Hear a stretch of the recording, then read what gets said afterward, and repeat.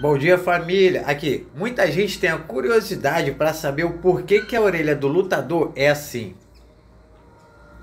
A famosa orelha de couve-flor, né? Olha aí. E hoje eu vou explicar para vocês, eu vou revelar esse segredo para vocês. Então pega a visão, mas depois devolve, senão eu fico cego. Vou colocar aqui rapidinho, vocês dão uma pausa e leem. Agora eu vou explicar como é o jeitinho sexo. Nossa orelha fica assim devido a uma lesão que a gente acaba tendo aí na cartilagem da orelha. Ou seja, a gente acaba recebendo uma pancada muito forte. A pessoa certa tem que parar de treinar, porque a orelha fica roxa e dói muito. Só que a gente é viciado na adrenalina, a gente gosta de treinar, a gente para, a gente não para, continua treinando. Aí acontece uma pancada em cima da outra, aí nossa orelha acaba explodindo. Sabe quando você tropeça em algum lugar ou dá um bicão numa pedra sem querer e fica aquela bolha de sangue na, na, na ponta do dedo, assim, ó?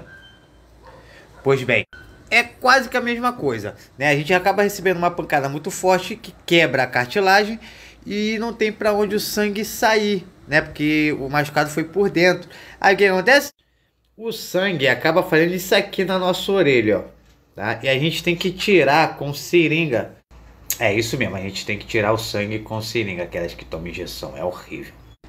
Então, necessariamente, não é só atleta que tem a orelha assim. Eu já conheci uma pessoa que caiu de bicicleta, bateu com a cabeça e acabou estourando a orelha.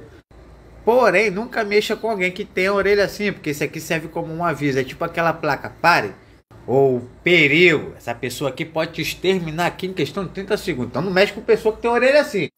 Outra coisa, não é só lutador de jiu-jitsu que tem a orelha assim não, tá? Então tem lutador de boxe, que é uma pancada, recebeu pancada pode acontecer isso aí.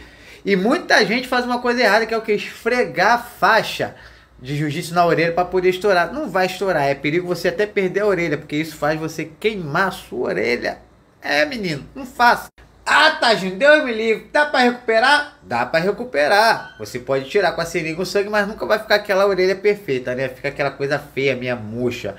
Se no médico, o médico faz uma cirurgia ali, dá para fazer legal. Mas aí a gente deixa logo de uma vez que já quebrou, não quebra de novo, porque olha a grossura. Como é que vai quebrar? Não quebra. E a dor é insuportável. Então aqui, ó. Espero que vocês tenham gostado. Deem like, que eu volto para fazer um outro vídeo sobre a orelha. Vou trazer, sabe o que para vocês? A Stop Cinco orelhas mais feias do MMA. Olha aí, vai ter uma coisa mais feia que a outra. Ué, dá moral pro amigo aí, me segue aí. Ajuda a chegar a 100k.